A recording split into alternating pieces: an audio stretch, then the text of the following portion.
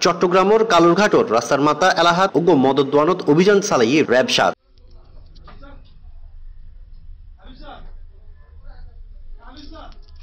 এই সময় ষোলো জন নেশাগ্রস্ত মদ্যপানকারী সহ দোয়ানত তাহা, ব্যাগ, মদ ও মদর হালি বোতল জব্দ করে র্যাব। মাথা উঁচু হ্যাঁ। এদিকে দেখুন এদিকে দেখেন। গতকাল বুধবার রাতিয়ে এই অভিযানের নেতৃত্ব দেয় র্যাব সাতর লেফটেন্যান্ট জেনারেল আশিকুর রহমান ও ম্যাজিস্ট্রেট মোহাম্মদ তহিদুল ইসলাম।